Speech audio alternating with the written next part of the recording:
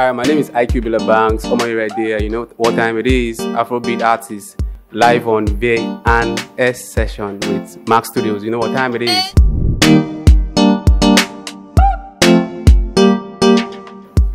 Damn, Afrobeat, you know. I do but I do anything. I still rap though.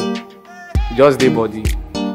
More if it's not swallow, man, forget about it. Swallow, it might be pounded yam, garri. If it's not Burna Boy, if it's not Fela, couple of artists are listening to Vector the Viper and the rest of them though. Burna Boy, Wizkid. I don't I don't really compare those two because difference day between those two guys.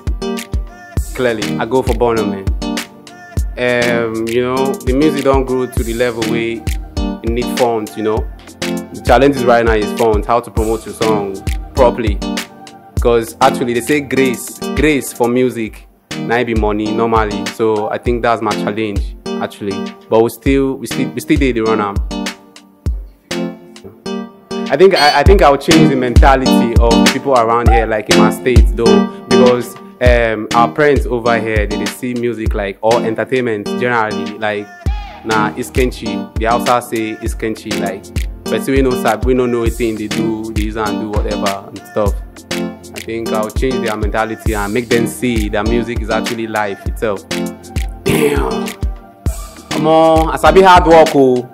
I dey do anything. I just be jack of all trade, you know. Can be doing anything just to survive, you know, just for the money.